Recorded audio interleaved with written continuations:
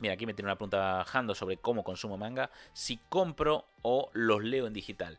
Actualmente estoy leyendo en digital, pero sí que hay series que me he comprado. Series como Full Metal Alchemist, además de sus artbooks y movidas que colecciono, sí, me las he comprado.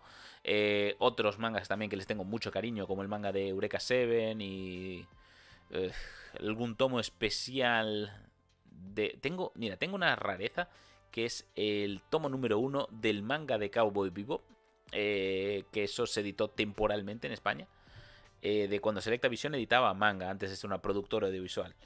Eh, no sé, tengo algunas cosas, pero sí que es cierto que lo, ah, he tenido... ¿Puedo hablar bien, por favor? es cierto que he tenido más manga del que tengo actualmente, lo mismo con cómics, porque también me he mudado mucho y pesa un montón y también reconozco que no soy mucho de releerme las cosas. Es decir, si quiero releerme algo, tiro del digital. Pero disfruto mucho haciendo una colección, entonces me encuentro entre esa dualidad. Y también me pilló una etapa muy del minimalismo y muy del... Mira, tengo un montón de figuras, las regalé o vendí todas, tengo o las tengo aquí en la oficina para setup, eh, libros y demás también los he vendido o regalado o me he deshecho de ellos, porque mm, recuerdo que me había pasado con una colección de cómics que leí una vez y solo estuvieron acumulando polvo en una estantería he dicho... Creo que este cómic lo podía aprovechar otra persona mejor que yo, eh, que yo solo los tengo cogiendo polvo. Eso es lo primero. Segundo, eh, he leído este cómic una vez y he estado en tres casas en las que he vivido yo. Me parece demasiado.